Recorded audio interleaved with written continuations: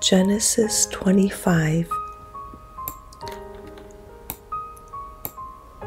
Abraham again took a wife, and her name was Keturah, and she bore him Zimran, Jokshan, Madan, Midian, Ishbak, and Shua. Jokshan begot Sheba and Dadan, and the sons of Dadan were Ashurim, Letushim, and Lumim. And the sons of Midian were Ephah, Epher, Hanok, Abidah, and Eldah. All these were the children of Keturah. And Abraham gave all that he had to Isaac. But Abraham gave gifts to the sons of the concubines which Abraham had. And while he was still living, he sent them eastward, away from Isaac his son, to the country of the east.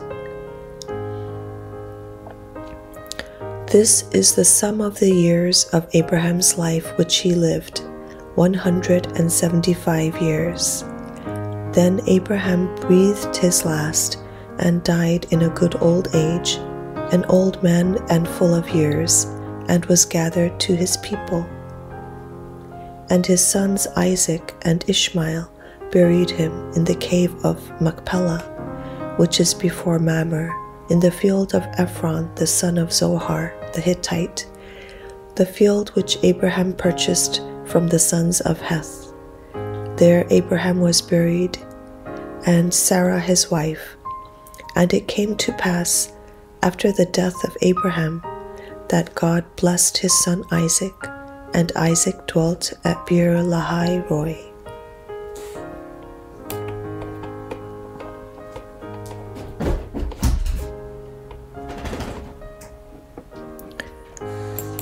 Now, this is the genealogy of Ishmael, Abraham's son, whom Hagar the Egyptian, Sarah's maidservant, bore to Abraham. And these were the names of the sons of Ishmael, by their names according to their generations. The firstborn of Ishmael, Nebajoth, then Kedar, Ab- Adbeel, Mibsam, Mishma, Duma, Massa, Hadar, Tema, Jetur, Naphish, and Kedemah. These were the sons of Ishmael, and these were their names, by their towns and their settlements, twelve princes according to their nations. These were the years of the life of Ishmael, one hundred and thirty seven years. And he breathed his last and died, and was gathered to his people. They dwelt from Havilah as far as Shur which is east of Egypt as you go toward Assyria. He died in the presence of all his brethren.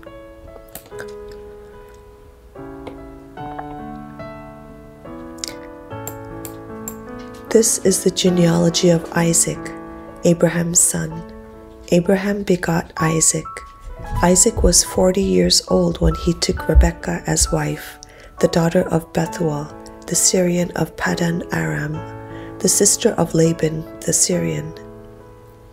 Now Isaac pleaded with the Lord for his wife because she was barren, and the Lord granted his plea, and Rebekah his wife conceived. But the children struggled together within her, and she said, If all is well, why am I like this?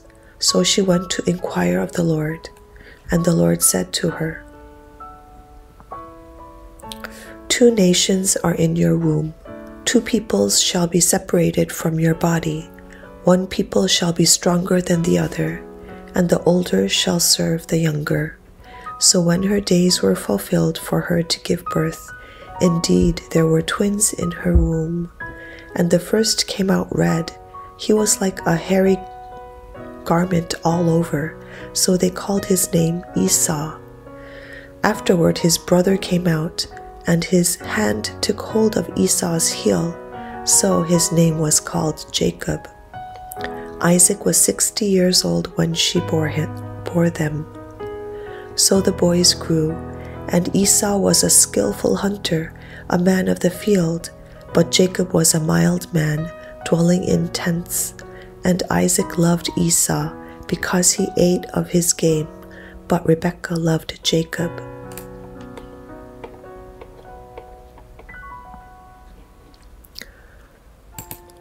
Now Jacob cooked a stew, and Esau came in from the field, and he was weary. And Esau said to Jacob, Please feed me with that same red stew, for I am weary. Therefore his name was called Edom. But Jacob said, Sell me your birthright as of this day. And Esau said, Look, I am about to die, so what is this birthright right to me? Then Jacob said, Swear to me as of this day. So he swore to him and sold his birthright to Jacob, and Jacob gave Esau bread and stew of lentils. Then he ate and drank, arose, and went his way. Thus Esau despised his birthright.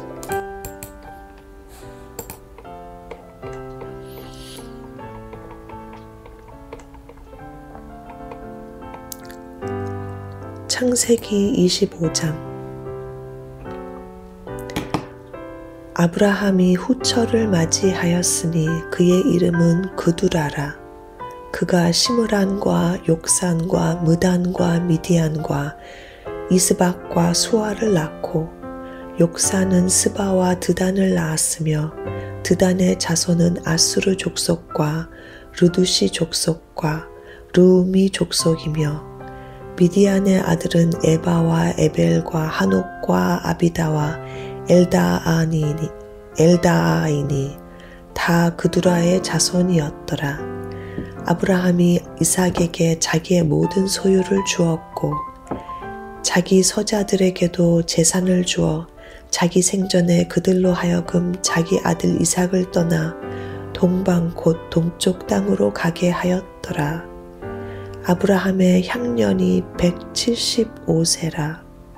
그의 나이가 높고 늙어서 기운이 다하여 죽어 자기 열조에게로 돌아가매 그의 아들들인 이삭과 이스마엘이 그를 마물의 앞헷 족속 소할의 아들 에브론의 밭에 있는 막벨라 굴에 장사하였으니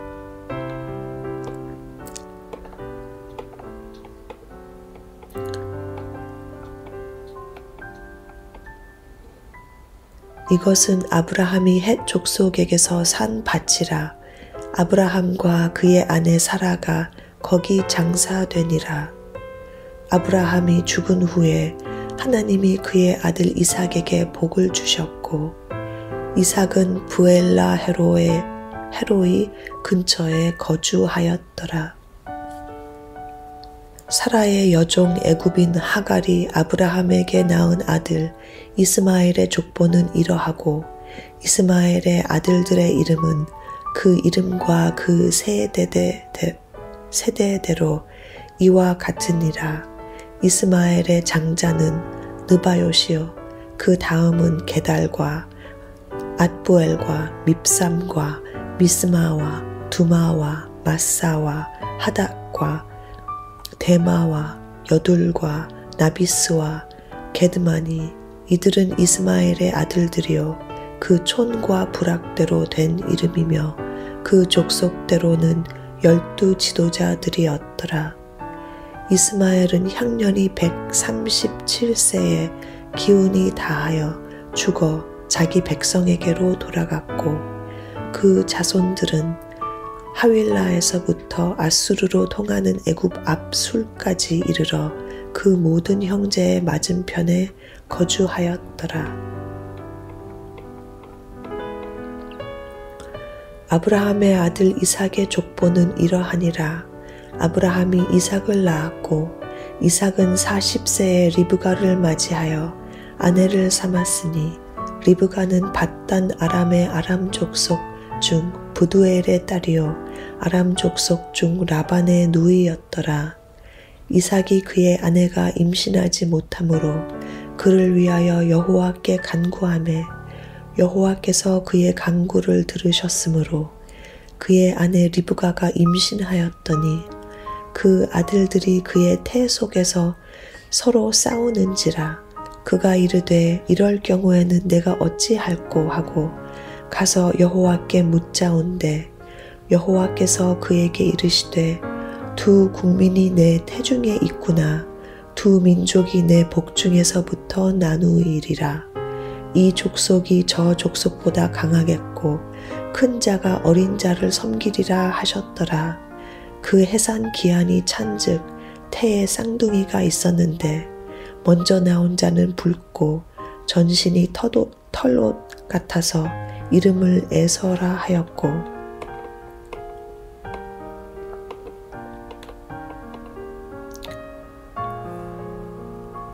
후에 나온 아우는 손으로 에서의 발꿈치를 잡았으므로 그 이름을 야곱이라 하였으며 리브가가 그 그들을 낳을 때에 이삭이 60세였더라.